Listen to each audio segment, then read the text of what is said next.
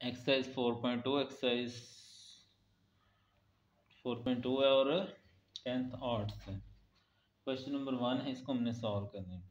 इसको ये जो लाइंस होती हैं, इनको हम डिटर्मिनेंट भी कहते हैं, मॉड भी कहते हैं। इनको जब ख़त्म किया जाता है ना तो जो भी इक्वल में रकम होती है ना, हम उसके साथ प्लस और माइनस लगा देते हैं। क्या लगा देते हैं? प्लस और माइनस। जो भी रकम हो, उसके साथ क्या लगता है? प्लस और माइनस। ये जी बस इतना ही था हो। अब वो कहता है, इसकी पड़ताल भी करो। पड़ताल करने के लिए क्या करना होता है? पड़ताल। पड़ताल के लिए जो आंसर आया होता है ना, उसको उसकी इक्वेशन में वापस रखना होता है। यानी एक्स की जगह हम ये वैल्यू रखेंगे वापस। Plus minus nine equal to क्या है? नाइन है। अब ये जो माड होता है ना, ये प्लस को और माइनस दोनों को प्लस कर देता है। तो यहाँ पर नाइन ही आएगा, बराबर भी क्या है? नाइन है। तो ये दोनों साइडें बराबर आ जाएँ तो ये इसकी वेरिफिकेशन हो जाती है। तो हम कहेंगे सो प्रूफ्ड या उर्दू में लिखेंगे, साबित हुआ लेफ़्ट हैंड साइड बराबर है राइट हैंड साइड के। ठीक है जी? ये था हमारा क्वेश्चन नंबर वन आगे है जी question number two question number two है x minus three equal to four ये मॉड जब हम ख़त्म करेंगे तो जो बराबर रकम है उसके साथ क्या लगेगा? प्लस और माइनस अब पीछे तो वो डायरेक्ट आंसर आ गया था। इसमें अब हम एक दफ़ा प्लस के साथ हल करना पड़ेगा और एक दफ़ा माइनस के साथ। तो x minus three equal to plus four plus शुरू में नहीं लिखा जाता। और फिर x minus three equal to minus four ठीक है? अब ये माइनस थ्री है, जब दूसरी तरफ़ जाएगा बराबर के, दूसरी तरफ़ अगर माइनस हो रकम बराबर के जब दूसरी तरफ़ जाती है प्लस हो जाती है। जो उधर है, पहले हमेशा उसको लिखना है। फोर माइनस थ्री इधर आएगा तो प्लस थ्री ये फोर प्लस थ्री क्या होता है? सेवन होता है। ठीक है जी? और ये माइनस थ्री है, जब दूसरी तरफ़ जाएगा तो ये क्या हो जाएगा? माइनस थ्री है, इधर आकर प्लस थ्री हो जाएगा। अब दोनों की अलामतें मुख्तलिफ़ हैं तो चार में से तीन गया तो एक आ जाएगा। अलामत हमेशा बड़ी रकम की। अगर आपको अलामतों में मसला हो तो आप कैलकुलेटर यूज़ कर सकते हैं। ठीक है? अब इसकी हमने करनी है वेरिफिकेशन वेरिफिकेशन कैसे करेंगे? ये जो हमें सवाल दिया गया है, उसके अंदर हम ये दोनों आंसर रखेंगे। इक्वेशन लिख लेते हैं दो दफ़ा। X minus three equal to four जब पड़ताल करनी होती है ना, तब हमने कोई भी रकम ना उधर लेके जानी होती है और ना इधर लेके आनी होती है। ठीक है जी? ठीक है होने लगी है? पड़ताल। एक्स की जगह मैं सेवन रखता हूँ। Seven minus three equal to four seven में से थ्री निकालें तो फोर इक्वल टू फोर यहाँ मैं माइनस वन रखता हूँ। माइनस थ्री वैसे ही। ठीक है जी? जो दो आंसर आए ना, वही दर्ज करने तो माइनस वन और minus three minus four minus four अगर मॉड के अंदर हो तो वो प्लस फोर हो जाता है। तो ये देखें, ये भी बराबर आ गया। तो ये क्या होगी इसकी? वेरिफिकेशन ठीक है जी? क्वेश्चन नंबर टू क्या था? मॉड बराबर फोर जब ये लाइनें या मॉड या वन वन ख़त्म करते हैं तो जो बराबर में जो भी रकम हो, उसके साथ प्लस और माइनस लग जाता है। तो एक दफ़ा इसी रकम को प्लस के बराबर रख देने और एक दफ़ा इसी रकम को माइनस के बराबर रख देने माइनस थ्री जब बराबर के दूसरी तरफ़ जाएगा तो प्लस थ्री हो जाएगा। Four plus three, seven. Minus three जब दूसरी तरफ़ गया तो प्लस थ्री। लेकिन चूँकि अलामतें मुख्तलिफ़ हैं तो ये रूल है जमा माइनस का अलामतें मुख्तलिफ़ हों तो तफरी करते हैं। माइनस वन आ जाएगा तो फिर एक दफ़ा ये सेवन रखेंगे इसी इक्वेशन में और एक दफ़ा माइनस वन रखेंगे इसी इक्वेशन में। तो वेरीफाई हो जाएगा। ठीक है जी? ये था जी question number two question number three four five ये एक जैसे हैं बिल्कुल।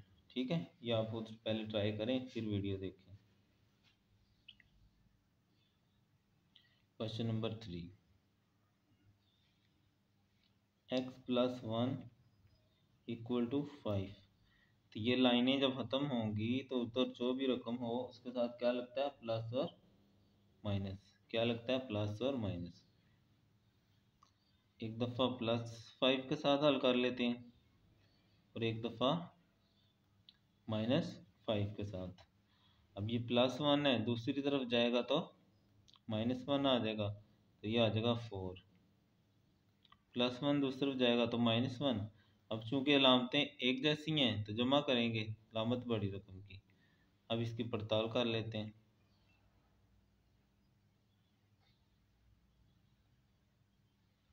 पड़ताल में यही क्वेश्चन लिखेंगे दो दफ़ा।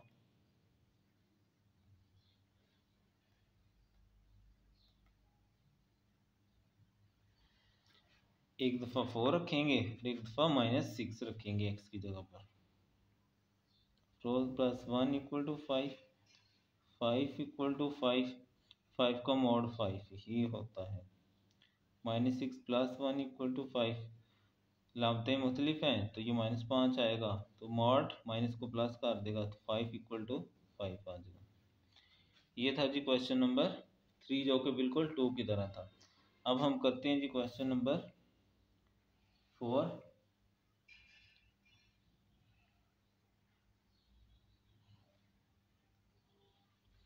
ये आ गया जी क्वेश्चन नंबर फोर अब जब हम मॉड ख़त्म करेंगे तो बिल्कुल पिछले सवालों की तरह जो बराबर रकम है, उसके साथ प्लस और माइनस लग जाएगा। अब एक दफ़ा इसको प्लस के साथ हल कर लेते हैं। और एक दफ़ा माइनस के साथ। ठीक है जी? तो माइनस थ्री दूसरी तरफ़ जाएगा तो प्लस थ्री हो जाएगा। तो ये हो जाएगा आठ।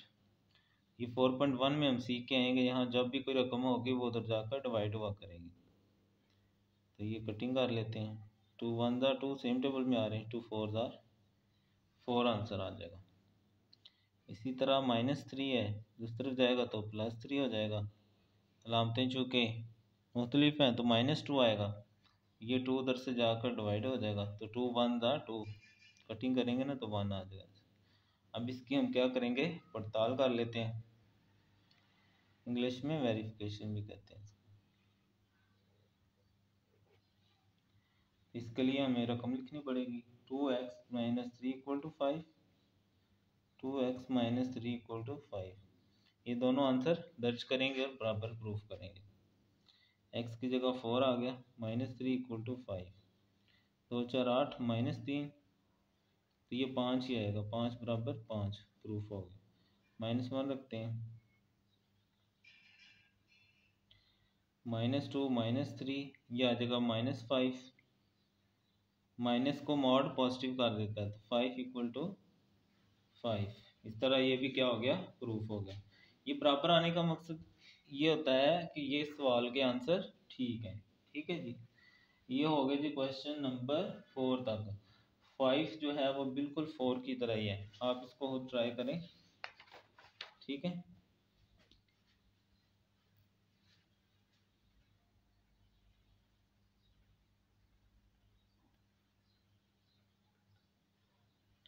मॉड खत्म करेंगे तो क्या होगा? जो बराबर वाली रकम है, उसके साथ क्या लगेगा? प्लस और माइनस ठीक है जी?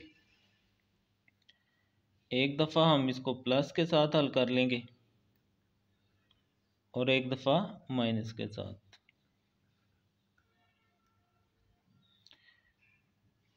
तो ये प्लस फोर जब इधर आएगा तो माइनस फोर हो जाएगा। नौ में से चार गए तो पाँच और तीन इधर आकर डिवाइड हो जाएगा। इसी तरह प्लस फोर है, इधर आएगा तो माइनस फोर हो जाएगा। लामत एक जैसी हैं तो जमा कर लेंगे माइनस चौदह आ जाएगा।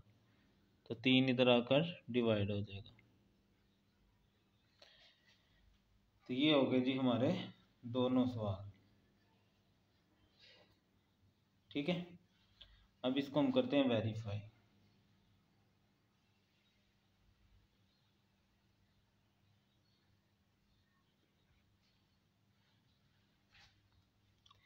वेरीफाई कर लेते हैं।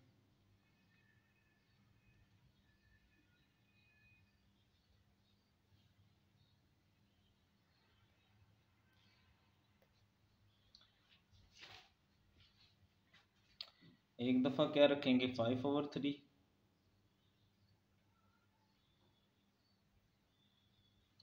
तो ये दो पाँच, दस ओवर तीन माइनस तीन। इसका देसी एल्शियम कर लेते हैं वन लगा के। देसी एल्शियम कितने स्टेप हैं? तीन। पहले नीचे तरफ़ करो। दस एक दस, तीन तीन। तो ये एक बटा तीन आएगा जो कि बराबर नहीं आया। ठीक है जी?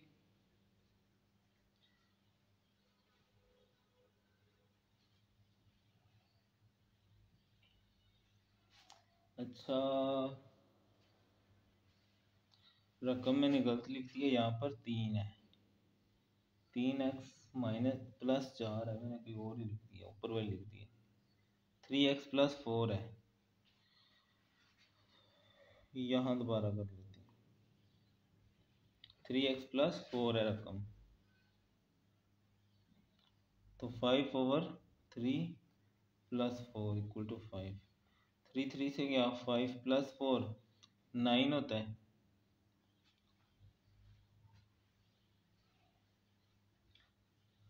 नाइन इक्वल टू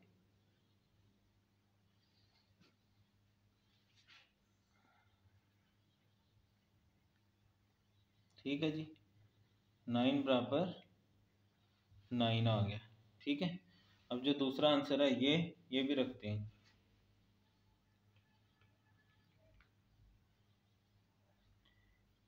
एक्स की जगह चौदह बटा तीन जमा चार बराबर नौ। तीन तीन से क्या माइनस चौदह जमा नौ?